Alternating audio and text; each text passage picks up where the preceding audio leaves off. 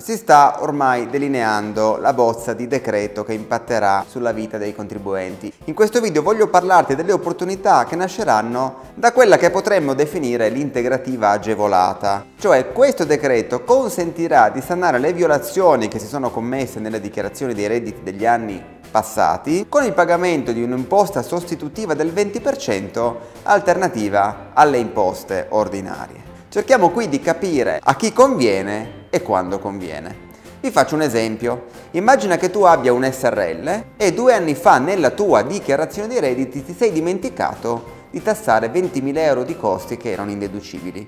Li hai dedotti e ti sei dimenticato di fare una variazione del reddito imponibile di 20.000 euro. C'è dunque un'evasione di imposta pari all'IRES e all'IRAP su 20.000 euro.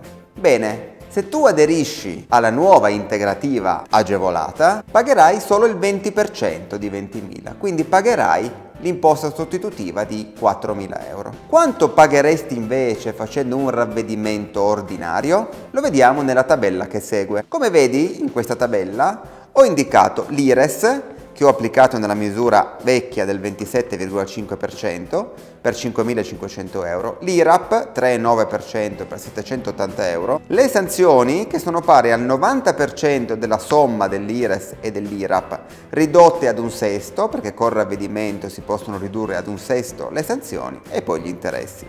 Il totale di quanto tu pagheresti con un ravvedimento ordinario è di 7.279 euro. Quanto ti sarà consentito di pagare con il ravvedimento che sta per uscire nel decreto è invece pari a 4.000 euro.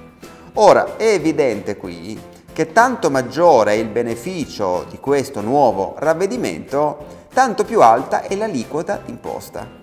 È chiaro che nessuno che si sia dimenticato di dichiarare un reddito d'affitto su cui paga il 10% di cedolare secca aderirà a questa misura perché pagherebbe molto di più, più conveniente il ravvedimento ordinario. Se l'aliquota della cedolare secca è il 21%, si risparmia un 1% di imposta e le sanzioni, non granché. Se le aliquote, come nell'esempio che ho fatto, sono il 27,5 e il 3,9 di IRAP, è già qualcosa in più, molto maggiore invece il risparmio per chi avrebbe dovuto assoggettare redditi e non lo ha fatto e ha un'aliquota del 43% quello è il caso in cui è massimizzato il beneficio.